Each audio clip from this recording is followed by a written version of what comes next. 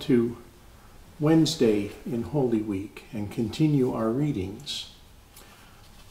In Scripture, there are actually no events that are recorded for Wednesday, so this evening we will be beginning the events of Thursday and then continue tomorrow with concluding the events for Thursday. Please join me in prayer. O God, Creator and Father of all, we know that your love is over every creature whom your hands have made. We know that your only wish is not to destroy but to save, not to condemn but to forgive. And we know that if we would receive your forgiveness, the only thing that we can bring and the only thing we need to bring to you is the penitent and contrite heart. Save us from everything which would hinder us from having a true sorrow for our sins. Save us, O God, from the blindness which is not even aware that it is sinning, from the pride which cannot admit that it is wrong, from the self will which can see nothing but its own way, from self righteousness which can see no flaw within itself. Give us at all times eyes which are open to our own faults, a conscience which is sensitive and quick to warn, a heart which cannot sin in peace, but which is moved to regret and to remorse. So grant that being truly penitent, we may be truly forgiven, so that we may find that your love is great enough to cover all our sin through Jesus Christ our Lord. Amen. This evening, if you are following the downloaded version of the readings for Holy Week, we will begin on page 26 and continue through page 36. If you are following the blue readings for Holy Week, we will, we will begin on page 56 and continue through page 80.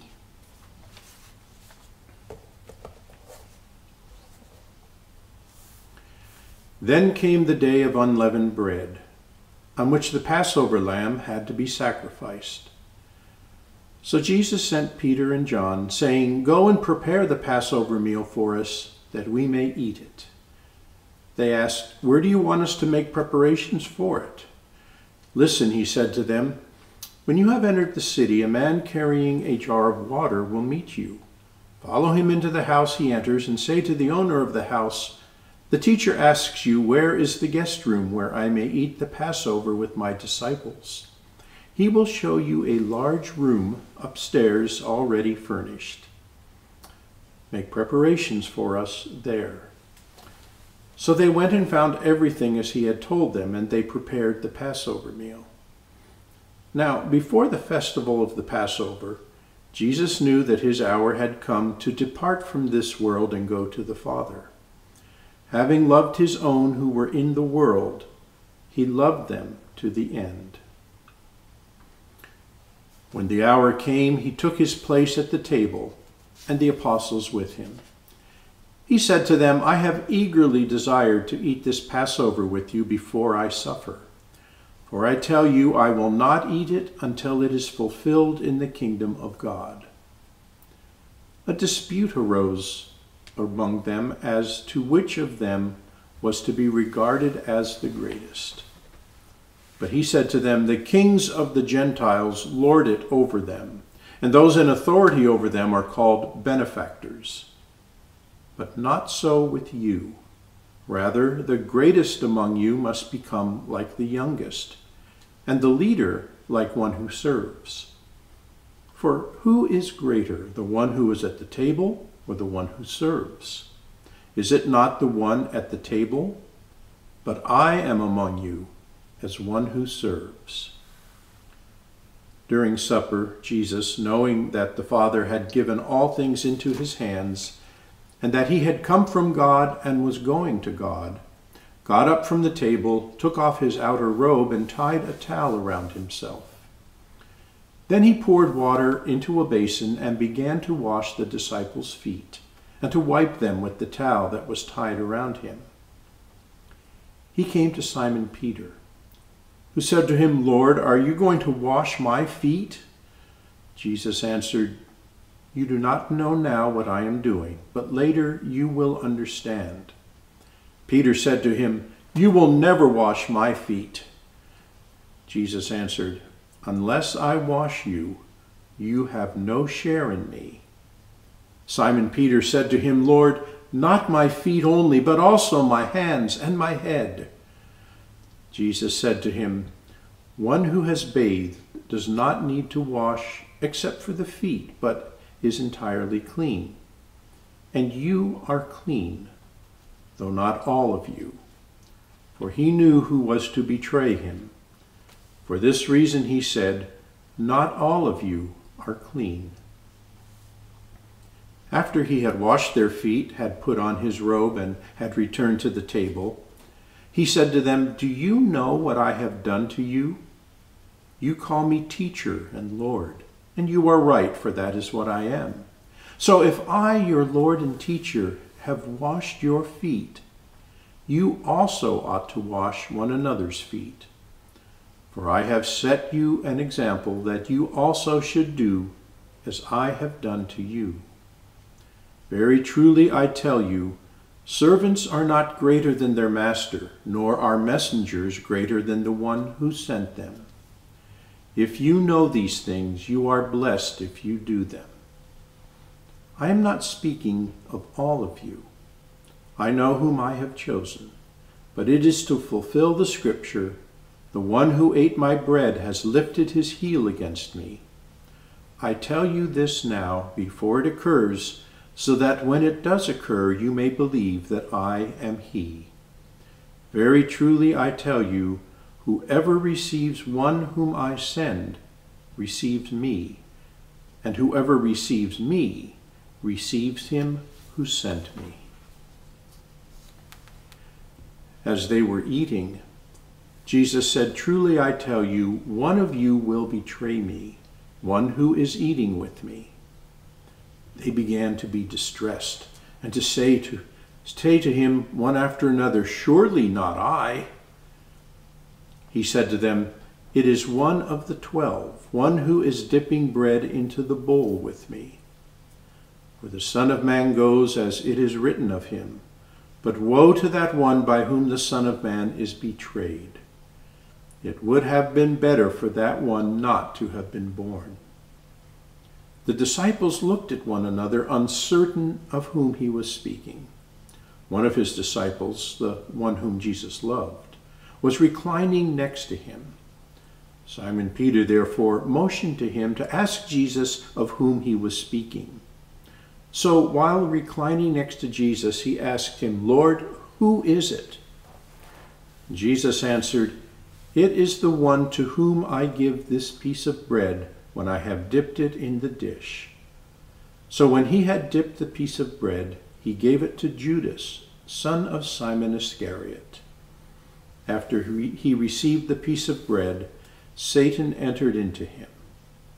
Jesus said to him, Do quickly what you are going to do. Now, no one at the table knew why he said this to him. Some thought that because Judas had the common purse, Jesus was telling him, Buy what we need for the festival, or that he should give something to the poor. So after receiving the piece of bread, he immediately went out, and it was night. When he had gone out, Jesus said, Now the Son of Man has been glorified, and God has been glorified in him. While they were eating, he took a loaf of bread, and after blessing it, he broke it, gave it to them, and said, Take, this is my body. Then he took a cup, and after giving thanks, he gave it to them, and all of them drank from it. He said to them, This is my blood of the covenant, which is poured out for many. Truly I tell you, I will never again drink of the fruit of the vine until that day when I drink it new in the kingdom of God. Let us join in silent prayer.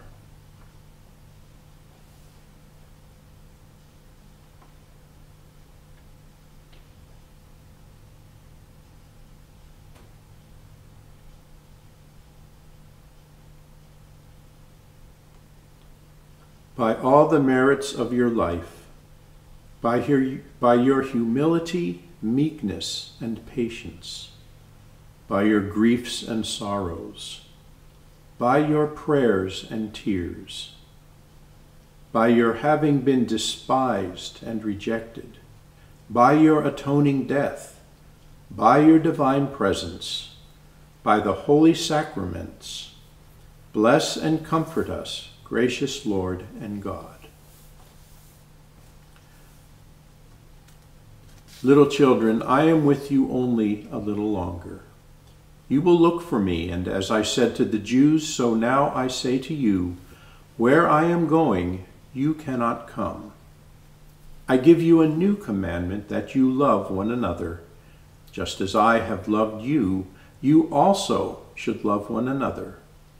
By this everyone will know that you are my disciples if you have love for one another. Simon Peter said to him, Lord, where are you going? Jesus answered, Where I am going, you cannot follow me now, but you will follow afterward. Peter said to him, Lord, why can I not follow you now? I will lay down my life for you. Jesus answered, Will you lay down your life for me? Very truly, I tell you, before the cock crows, you will have denied me three times. Peter said to him, Even though I must die with you, I will not deny you. And so said all the disciples. Jesus responded, Simon, Simon, listen. Satan has demanded to sift all of you like wheat. But I have prayed for you that your own faith may not fail. And you, when once you have turned back, strengthen your brothers. Jesus said to them, When I sent you out without a purse, bag, or sandals, did you lack anything? And they said, No, not a thing. He said to them, But now the one who has a purse must take it, and likewise a bag. And the one who has no sword must sell his cloak and buy one. For I tell you, this scripture must be fulfilled in me. And he was counted among the lawless. And indeed, what is written about me is being fulfilled. They said, Lord, look, here are two swords. He replied, It is enough. Jesus continued, do not let your hearts be troubled. Believe in God, believe also in me. In my Father's house there are many dwelling places. If it were not so, would I have told you that I go to prepare a place for you? And if I go and prepare a place for you, I will come again and will take you to myself, so that where I am, there you may be also. And you know the way to the place where I am going. Thomas said to Jesus, Lord, we do not know where you are going. How can we know the way? Jesus said to him, I am the way and the truth and the life. No one comes to the Father except through me. If you know me, you will know my Father also. From now on, you do know him and have seen him. Philip said to him, Lord, show us the Father, and we will be satisfied. Jesus said to him, Have I been with you all this time, Philip, and you still do not know me? Whoever has seen me has seen the Father. How can you say, Show us the Father? Do you not believe that I am in the Father, and the Father is in me? The words that I say to you, I do not speak on my own, but the Father who dwells in me does his works. Believe me that I am in the Father, and the Father is in me. But if you do not, then believe me because of the works themselves. Very truly I tell you, the one who believes in me will also do the works that I do, and in fact will do greater works than these because I am going to the Father. I will do whatever you ask in my name so that the Father may be glorified in the Son. If in my name you ask me for anything, I will do it. If you love me, you will keep my commandments. And I will ask the Father, and he will give you another advocate to be with you forever. This is the Spirit of truth, whom the world cannot receive, because it neither sees him nor knows him. You know him because he abides with you, and he will be in you. I will not leave you orphaned. I am coming to you. In a little while the world will no longer see me, but you will see me. Because I live, you also will live. On that day you will know that I am in the Father, and you in me, and I in you.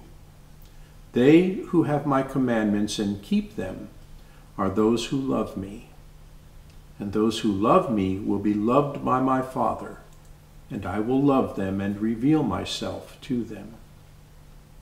Judas, not Iscariot, said to him, Lord, how is it that you will re- reveal yourself to us and not to the world?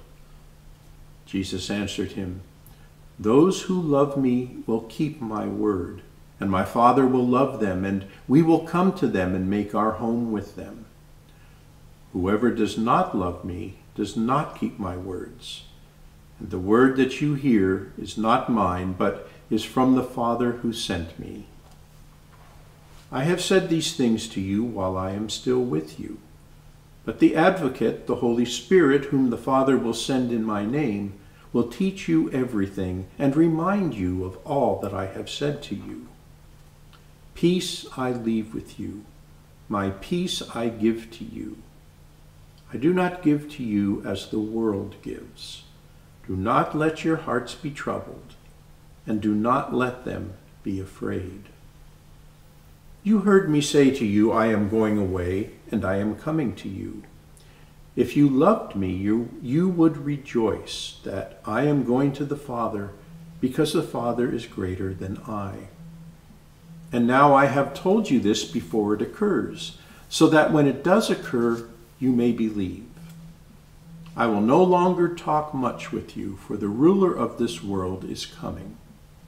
He has no power over me, but I do as the Father has commanded me, so that the world may know that I love the Father. When they had sung a hymn, Jesus said, I am the true vine, and my Father is the vine grower. He removes every branch in me that bears no fruit Every branch that bears fruit he prunes to make it bear more fruit. You have already been cleansed by the word that I have spoken to you. Abide in me as I abide in you. Just as the branch cannot bear fruit by itself unless it abides in the vine, neither can you unless you abide in me. I am the vine, you are the branches. Those who abide in me and I in them bear much fruit, because apart from me you can do nothing. Whoever does not abide in me is thrown away like a branch and withers. Such branches are gathered, thrown into the fire, and burned. If you abide in me and my words abide in you, ask for whatever you wish, and it will be done for you. My Father is glorified by this, that you bear much fruit and become my disciples. As the Father has loved me, so I have loved you. Abide in my love. If you keep my commandments, you will abide in my love, just as I have kept my Father's commandments and abide in his love. I have said these things to you so that my joy may be in you and that your joy may be complete. This is my commandment, that you love one another as I have loved you. No one has greater love than this, to lay down one's life for one's friends. You are my friends if you do what I command you. I do not call you servants any longer, because the servant does not know what the master is doing. But I have called you friends because I have made known to you everything that I have heard from my Father. You did not choose me, but I chose you, and I appointed you to go and bear fruit, fruit that will last, so that the Father will give you whatever you ask him in my name. I am giving you these commands so that you may love one another.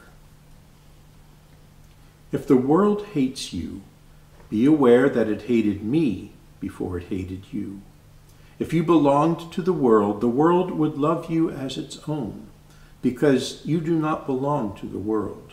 But I have chosen you out of the world. Therefore the world hates you. Remember the word that I said to you, servants are not greater than their master? If they persecuted me, they will persecute you. If they kept my word, they will keep yours also. But they will do all these things to you on account of my name, because they do not know him who sent me. If I had not come and spoken to them, they would not have sin. But now they have no excuse for their sin. Whoever hates me hates my Father also. If I had not done among them the works that no one else did, they would not have sin. But now they have seen and hated both me and my Father. It was to fulfill the word that is written in their law. They hated me without a cause. When the advocate comes, whom I will send to you from the Father, the Spirit of truth who comes from the Father, he will testify on my behalf. You also are to testify because you have been with me from the beginning. I have said these things to you to keep you from stumbling. They will put you out of the synagogues. Indeed, an hour is coming when those who kill you will think that by doing so they are offering worship to God.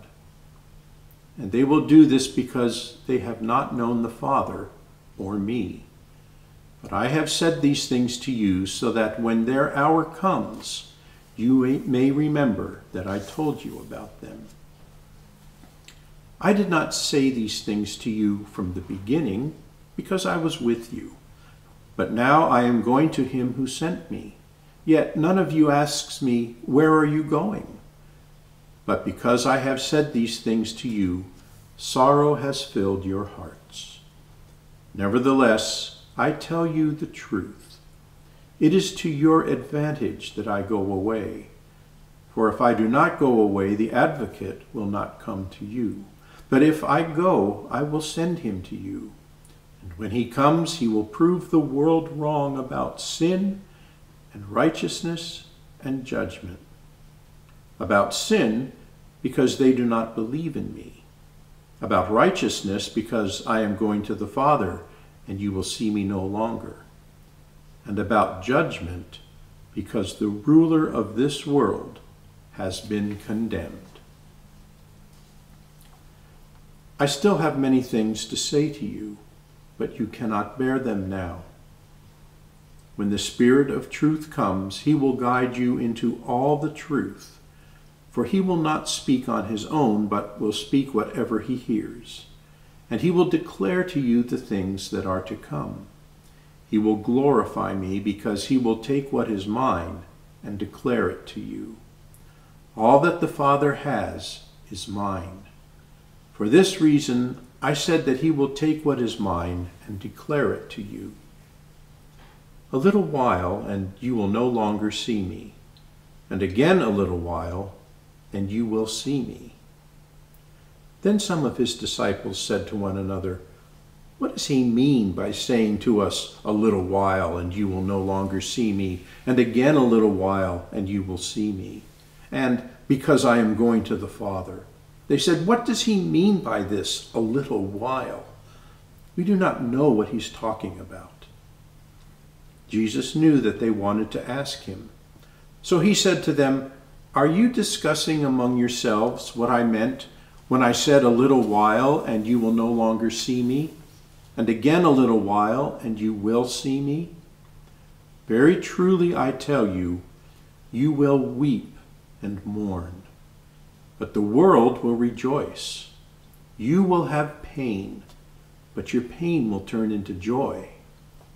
When a woman is in labor, she has pain because her hour has come. But when her child is born, she no longer remembers the anguish because of the joy of having brought a human being into the world. So you have pain now, but I will see you again, and your hearts will rejoice, and no one will take your joy from you. On that day you will ask nothing of me. Very truly I tell you, if you ask anything of the Father in my name, he will give it to you. Until now, you have not asked for anything in my name. Ask and you will receive, so that your joy may be complete. I have said these things to you in figures of speech. The hour is coming when I no longer speak to you in figures, but will tell you plainly of the Father. On that day you will ask in my name. I do not say to you that I will ask the Father on your behalf, for the Father himself loves you because you have loved me and have believed that I came from God. I came from the Father and have come into the world. Again, I am leaving the world and am going to the Father. His disciples said, Yes, now you are speaking plainly, not in any figure of speech. Now we know that you know all things and do not need to have anyone question you. By this we believe that you came from God. Jesus answered them, Do you now believe? The hour is coming. Indeed, it has come when you will be scattered, each one to his home, and you will leave me alone. Yet I am not alone because the Father is with me. I have said this to you so that in me you may have peace. In the world you face persecution, but take courage. I have conquered the world. This ends our reading for Wednesday. The peace of God, which passes all understanding, keep your hearts and minds in the knowledge and love of God and of his Son, Jesus Christ our Lord. And the blessing of God Almighty, the Father, the Son, and the Holy Spirit be among you and remain with you always. Amen.